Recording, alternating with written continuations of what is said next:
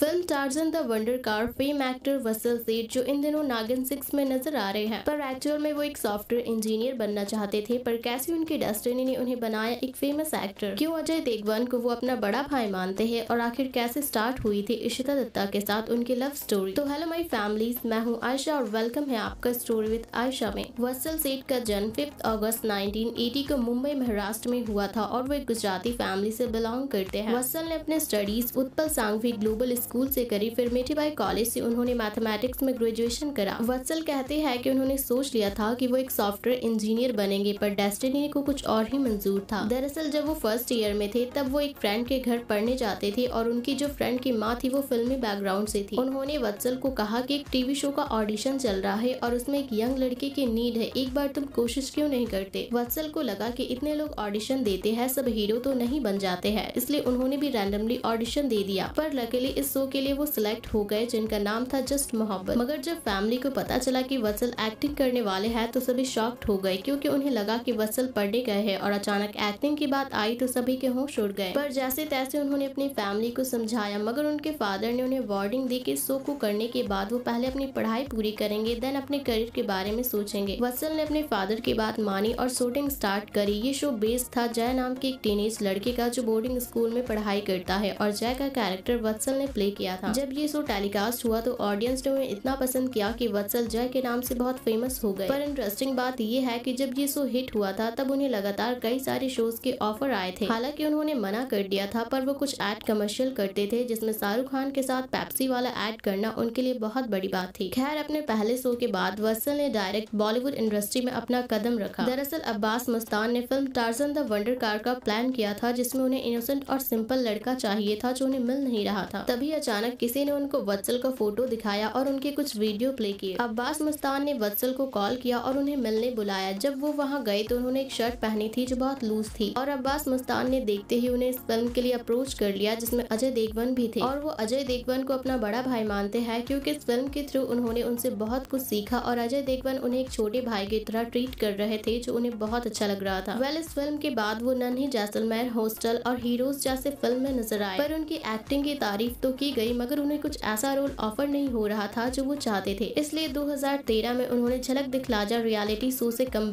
करा, मगर उनके लाइफ का बिग ब्रेक साबित हुआ। सिद्धार्थ प्रियदर्शी के शो एक हसीना थी, जहाँ उन्होंने सौर्य गोयंका का किरदार निभाया था, जो एक लीड रोल था। इस शो की वजह से उन्हें काफ़ी पॉपुलैरिटी मिली और बैक टू बैक उन्होंने लाइफ ओके का शो रिश्तों का सौदागर बाजीगर में Aarav Trivedi, horror drama show गहराइया में साहिल अरोरा, सोनी चैनल के शो हासिल में कबीर रायचंद और ये रिश्ते है प्यार के जैसे कई सारे शो में नज़र आए। और अब वो नागिन सिक्स में राघव और स्टार प्लस के न्यू शो तितली में राहुल का किरदार निभा रहे हैं, जो उनका कैमियो होने वाला है। वत्सल कहते हैं कि नेहा सोलंकी और तेजस्वी प्रकाश के साथ काम करना उनके लिए एक प्राउड मोमेंट है, क्योंकि ये दोनों अपने काम को लेकर बहुत पैसनेट है और नेक्स्ट लेवल की एक्ट्रेस है। वैसे आपको वत्सल कैसे लगते है और कौन सा शो आपको वत्सल का फेवरेट है, नीचे कमेंट करके हमें ज़रूर बताएँ। वर्ल्ड टीवी शोज़ के अलावा वत्सल ने अनकपल्ड अबीर और आदित्य जैसी शॉर्ट फ़िल्म करी है, साथ ही वो एक इंग्लिश फ़िल्म में भी नज़र आए हैं। वत्सल ने कई सारे म्यूज़िक वीडियो में काम करा है और वो कुछ फ़िल्म और टीवी शोज़ में स्पेशल अपेयरेंस में भी नज़र आए हैं। वत्सल ने मोस्ट एक्सपेंसिव फ़िल्म आदि पुरुष में भी काम करा है, जिसमें उन्होंने इंद्रजीत का कैरेक्टर प्ले किया है और ये उनका डेब्यू फ़िल्म है तेलुगु इंडस्ट्री में। खैर, बात करिए उनके लव लाइफ की तो उन्होंने 28 नवंबर 2017 को इशिता दत्ता से शादी कर ली है, जो सीरियल रिश्तों का सौदागर बाजीगर में उनकी को स्टार थी। और साल 2023 में उन्होंने अनाउंस करा है की इशिता प्रेगनेंट है, जिसके लिए अभी से वो दोनों बहुत एक्साइटेड है और अपने बेबी बॉय या फिर बेबी गर्ल के लिए नेम चूज़ कर रहे हैं और अपने फैंस से भी रिक्वेस्ट करा है कि वो एक प्यारा सा नाम उन्हें सजेस्ट करे। वसल अपने लव लाइफ के बारे में कहते हैं कि इशिता के साथ उनकी दोस्ती शो खत्म हो जाने के बाद बढ़नी शुरू हुई और उनका मिलना जुलना स्टार्ट हो गया। इसी दौरान उन्होंने इशिता को कहा कि अब उन्हें शादी कर लेनी चाहिए और इशिता ने अपने पेरेंट्स को बताया। इसी तरह उनकी बात आगे बढ़ी और वो दोनों शादी के बंधन में बंध गए। वैसे वसल काफ़ी हैप्पी है अपने मैरिड लाइफ से और उनका मानना है कि लाइफ में आपको एक बार हीरो बनने का मौका ज़रूर मिलता है। बस फ़र्क इतना है कि आप उस अपॉर्चुनिटी को किस तरह हैंडल करते हो। अगर आप सिचुएशन के अकॉर्डिंग ढल गए तो आपको आपकी मंजिल ज़रूर मिलेगी जो उनके लिए उनका सक्सेस मन रहा है। तो ये थी एक प्यारी सी लाइफ जर्नी वसल सेट के ऊपर आई होप आपको ये वीडियो पसंद आया होगा। एंड अगर आप इसी तरह के लाइफ जर्नी वीडियो देखना पसंद करते हैं तो प्लीज़ हमारे चैनल को सब्सक्राइब करके बेल आइकन को प्रेस कर ले और हमारी फैमिली का हिस्सा ज़रूर बने।